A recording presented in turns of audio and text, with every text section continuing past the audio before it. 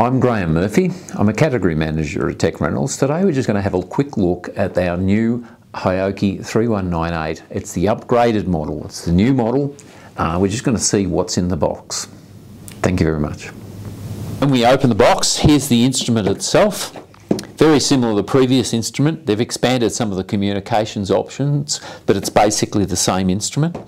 Um, we've got our voltage leads. We've got a power supply here.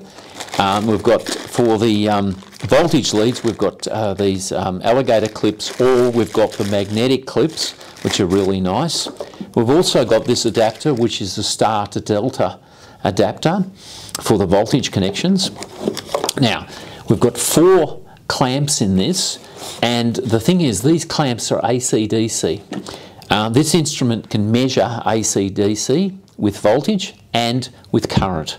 Now that makes it very useful. Um, so in other words, we can have a combination of AC, DC measurements with voltage and current. We have some Rogowski coils if needed. These are for current measurement. These will only do AC. So we've got the coils and the clamps. Great little instrument. Thank you very much.